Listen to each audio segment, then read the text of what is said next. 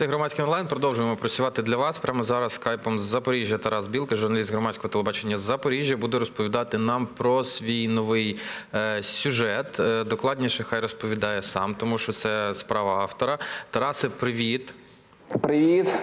Е, розкажи, будь ласка, про що твій новий сюжет, і вимкни в себе звук, бо я сам себе чую.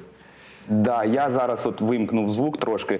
Е, ну, значить, новий сюжет. Сьогодні я от зранку, прямо після е, цього, після поїзда вчора ще дізнався, що сьогодні у нас е, відбувають. О, мені тут зараз допоможуть, щоб вимкнути зовсім звук. Бачиш, у мене три руки. Е.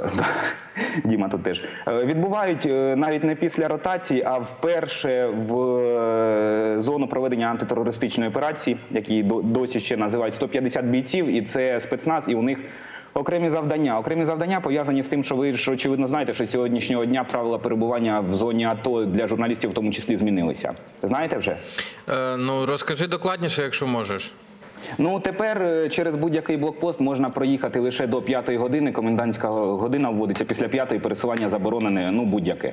Просто блокпости не, не, не пройти. І говорять, я сьогодні спілкувався з хлопцями. Говорять, що пов'язано це все з тим, що е, під, підвищили свою активність е, диверсійні групи.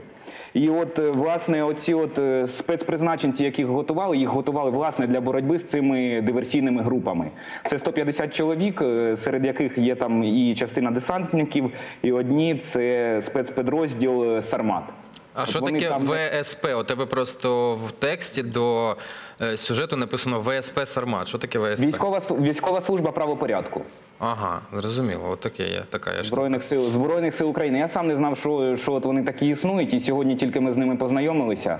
І е, секретів вони не розкривають, але говорять про те, що хлопців, власне, от е, їх вчили там. Вони не штурмовики, їх вчили там не на зачистку, а їх е, вчили конкретно методам виявлення боротьби з знешкодження з диверсійними групами.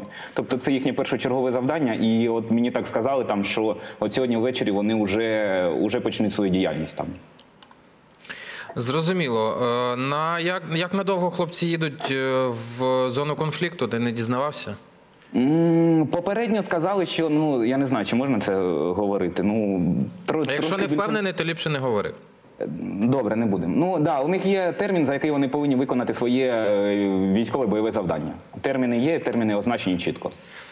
Окей, добре, зрозуміло. Давайте, отже, дивитися сюжет від Тараса Білки. Тарас, тобі дякую за те, що включився. Дякую